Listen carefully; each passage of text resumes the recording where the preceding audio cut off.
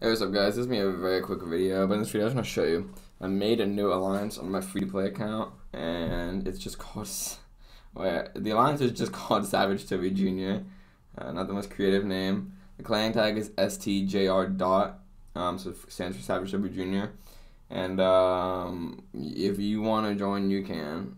Um, we're probably gonna be running like AQ like map two or three or one. I don't even know.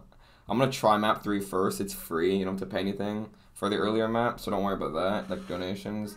Um, map I think one through four is free. Maybe one through five. So you're not gonna worry about that. Um, I'm be running very small AQ, no AW because I just don't want to. And um, literally you can join. Just send a request to my um, free to play account, and whenever I go on it, I'll check and um, I'll let you join. Just yeah, if you want to join, you can. You just gotta move an AQ once in a while. There's only gonna be like two paths because it's such an early rank, so I wouldn't worry about it. But yeah, if you want to just join on like one of your free to play accounts that you play on once in a while, jump on. Why not?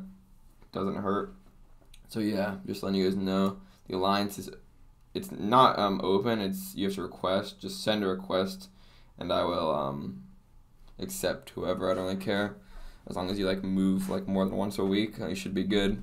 So yeah, um, join and yeah, see you guys in the next one. Peace.